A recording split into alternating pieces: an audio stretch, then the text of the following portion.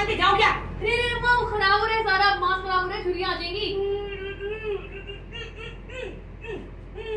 समझ गई? सही कह रही है। और क्या? बोला दे